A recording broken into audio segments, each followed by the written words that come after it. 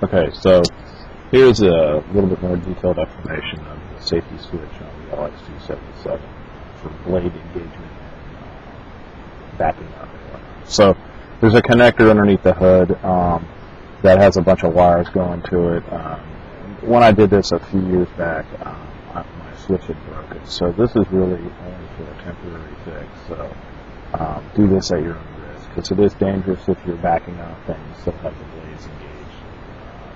You don't have to hold, if you do this the way I set it up, you don't have to pull that switch upward and, uh, uh, to keep the blades engaged. So there's three rows of um, three on this switch. So the um, the first number I numbered these just my name number nomenclature. So I don't I don't know if there's a connector number in there.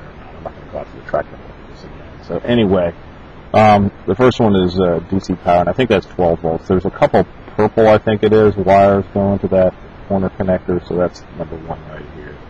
Number two is uh, blade blade engage, but that won't work unless you reset the uh, control board, so you have to pulse number three, so that's what number three is. So the way you engage the blades with the switch is you, um, and I think in the actual real switch, um, this is just a connector, um, there's a spring-loaded thing, so when you pop it up, it, really, resets it, when you push it down.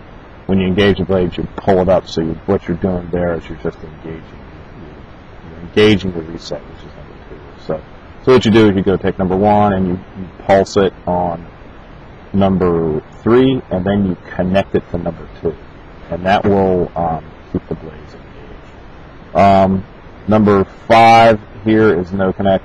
Um, I couldn't figure out. I don't think there's any wire Number four and six are just an ignition loop, so you have to have that hooked up. Um, let's see, uh, and then the last row over here. Uh, I couldn't figure out what eight or nine was, but what you can do here is um, just connect up 7 with 9 and that provides that allows you to back up without um, the blade going off so that's that's if you're familiar with the actual switch on the tractor on the top side what you do is you, if the blade is engaged and you want to be cutting your grass backwards you have to pull up on that switch there's a, there's a spring loaded switch so you have to hold it it's somewhat of a pain in the butt but it's done for safety reasons so but anyway, that's about it. So uh, here's the, the picture of it with the connectors that I had put on there.